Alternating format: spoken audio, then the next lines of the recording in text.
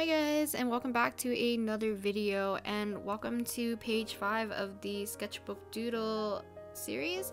I'm actually really happy from the response or like the comments from the previous video saying that a lot of you guys actually really enjoy this little series so maybe I won't make this into a mini series anymore I'll just continue this as an ongoing series and reason being is I really like the fact that you guys enjoy putting this video in the background while you draw as well. So it's like a feeling of drawing along with me. And I always enjoy that kind of I don't know that kind of a feeling. It's like nice when even when I'm streaming on Instagram um, when you guys tell me like oh I'm drawing along with you. Like it's always nice to draw with other people even if it is through a screen. But today um, like I said in last week's video that I most likely will be drawing Vernon and DK so if you guys don't know, Dokyeom and Vernon's birthdays are both today. Um, I guess it'll be in Korea, it'll be the day before, or I guess it'll be yesterday. Um, but yeah, I did something very similar to what I did for Dino's birthday. So, using similar colors. The reason why I showed all my pencil crayons at the beginning was because I wasn't set on any specific colors that I wanted to use for this specific spread. Um, but I decided to go with the same colors I used for Dino, so using that pink and that really cute kind of purpley blue color. I'll probably put the color names um, on the screen, like when I show the pencil crayons, so that you guys can know what colors I specifically use. So like the other video, I am also using my same Pilot um, colored Eno pencil in the color blue and I do apologize that the, the clip that you just watched right now was very overexposed. Um, I did turn down the exposure in the next few clips when I'm sketching so you guys can see. Um, because I tend to sketch, like, sketch, sketch really lightly and because the color Eno itself doesn't get that dark, it was hard to see. Hopefully you guys can see my sketch now.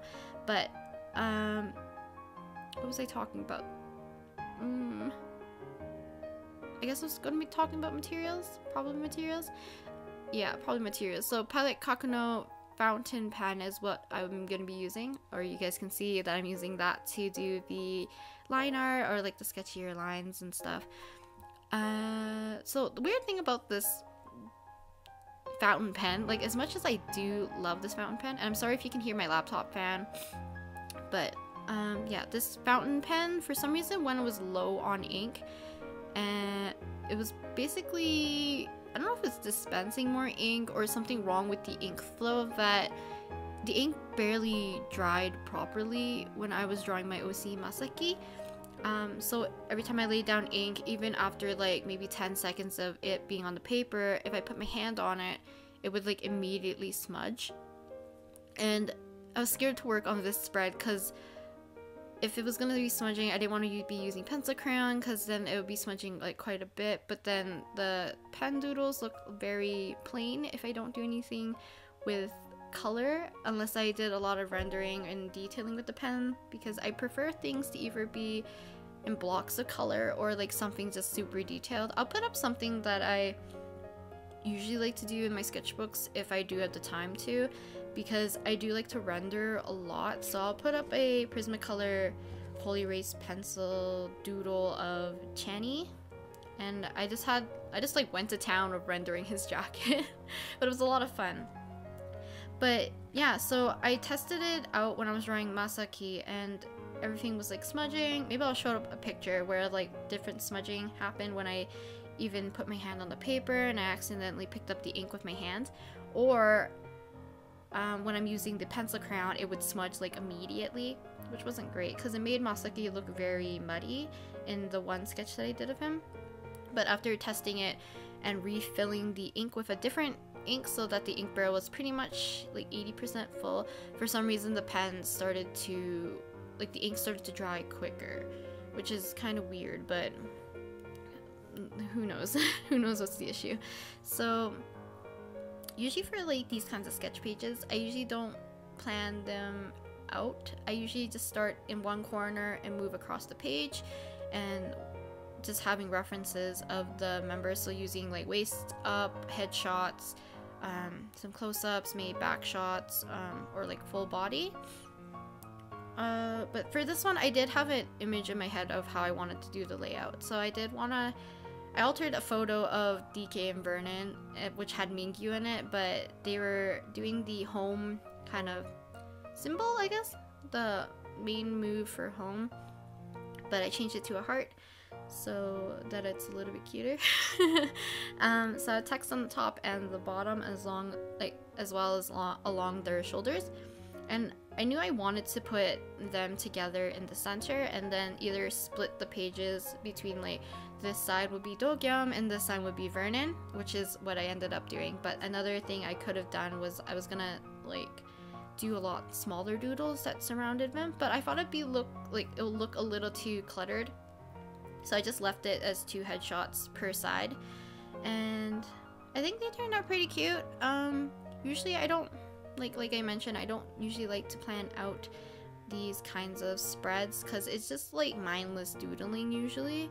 But because I don't know, something in my brain was like, you have to make these guys look decent, at least the ones in the center, because like I don't want to butcher them for their birthday. uh, but yeah. Mm, recently, I've also been playing around with a water brush, so a very small water brush with a little bit of diluted fountain pen ink. And I've been using that to do a few doodles as well. And maybe I'll do that for maybe the next um, sketch page doodle video. I'm not sure if that's going to be the next week's video or I'm going to be doing a painting because I would want to get back into painting, but god dang it. Webtoons and comics take up such like um like a large amount of your time. Because today is actually friday when i'm doing this voice recording so today's the 15th and i'm not done the like all the frames it frames? Panels i guess panels for the webtoon. Sucks because i'm supposed to upload it tomorrow. But i have four left. Hopefully i can get that done before i start streaming today but yeah, that's enough about me complaining. Another thing that I don't know if people do this. I know I do it a lot because I like to keep my hand on the paper or on the desk or some flat surface that's the same level as what I'm drawing on. Um, probably because like I prefer to get a lot of control. I can sketch like with your hand off the paper because I've done a lot of um, gesture studies or any kind of drawing that you had to do standing up on a easel. So you couldn't exactly rest your hand on the paper unless you want to put your whole arm up against that easel. But I don't know, do you guys put something under your hand so it's on the same level as your sketchbook? Or like if your um, drawing surface is slightly raised and your hand's off the surface, do you put something underneath so that it's more easier for you to control? I don't know, just random thoughts. so working on the last doodle. I do apologize for this one. I didn't finish, or I guess it is finished. The coloring portion of his hair was cut off because I wasn't paying attention to the amount of space I had left on my memory card. So that was cut off and I know it's like really abrupt at the end, but I don't know. I feel I still think he came out pretty cute. But yeah. Um, so next video probably either a sketchbook page, sketchbook doodle page six, or it'll be a watercolor video. Still thinking, because there is something I want to paint, which is part of a another series um, that I wanted to do, but I had to put on hold because a bunch of other projects. And February is like the busiest month, I believe, for like Carats because you have. Well, I guess it depends. Like if you want to celebrate like uh, the Lunar New Year's as well as the Carat Day, I guess. There's Dino's birthday, there's Dokyeom and Vernon's birthday. There's like a lot of things just going on in February. And there's like only one thing, I guess 17-ish related that happens in March, which is Boo debut um, anniversary. So yeah. So I'm just showing you guys some close-ups of the sketches that I did in this, this spread.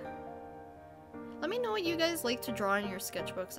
Like, actually, do you guys do a lot of studies? Do you guys do a lot of like mindless doodling? Do you guys write notes down? Do you guys write I don't know, poetry or something? Do you use it more as a journal rather than a sketchbook? I'm just kind of curious because I know a lot of people are like, how do you make your sketchbooks so like aesthetically pleasing or like they look so organized? And I don't aim for it to do that like be that way. It's just how my mind works when I'm just mindlessly doodling. So yeah I'll talk a bit more about that maybe next week but um, thank you very much for watching and I hope you guys did enjoy watching me do some more sketch page doodles um, for the past like this week and last week. So I'll talk to you guys next week and thank you very, thank you very much for watching. Bye